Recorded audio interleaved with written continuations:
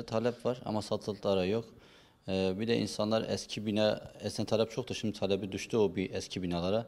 İnsana biraz daha böyle e, İs- İstanbul'un e, böyle deprem vurmayacak, böyle fay hattı geçmeyen yerlere göç etmek istiyor. Daha sağlam y- yere geçmek istiyor, kendi sağlamak almak istiyor.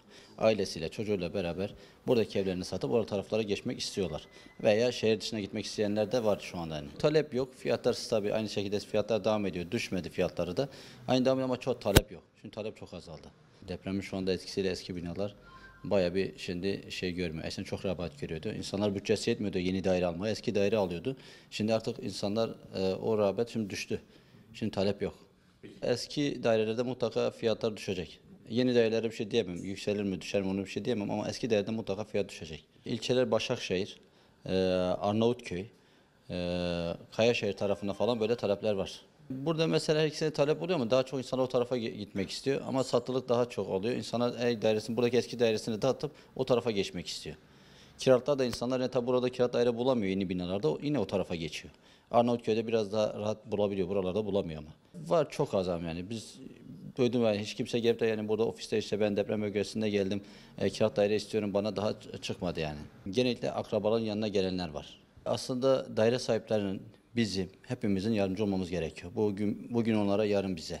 Onların acısı bizim acımız. Yani biz hala emin ol ki Türkiye vatandaşı herkes herkes sanki orada onu yaşamış gibi.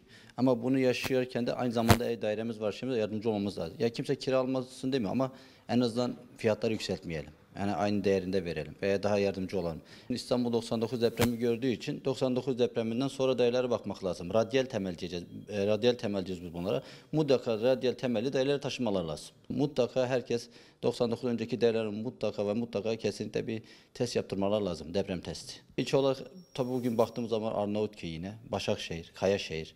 Özellikle bildiğimiz kadarıyla yani anladın mı? Yani e, işte deprem araştırmalarının verdiği bir yer İstanbul'daki için buralar kayalık olduğu için buraları tercih edilmesi daha doğru olur. İstanbul genelinde de yani bir kira daire, kira dairede fiyat artmadı. Deprem oldu diye kimse şu anda öyle bir şey görmedik. Yani fiyat artmadı. Özellikle kendi ilçem için söyle, Bahçelievler için söyleyebilirim. Kendi bölgem için söyleyebilirim. Koca Sinan'da mesela bizim burada hiç öyle bir şey olmadı. Aynı şey- olduğu gibi daire devam ediyor. Daha önce de söylemişiz. Aynı şekilde bugün 7 bin liraysa 7 bin liradır. Yani 8 olmadı.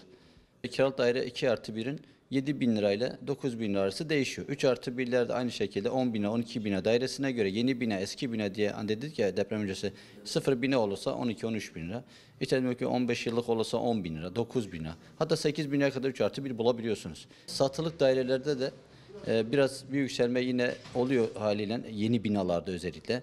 E, maliyet mi yükselden ol ben de bilmiyorum ama bir 2 artı bir daire almasa 2 milyondan aşağı bulamıyorsunuz.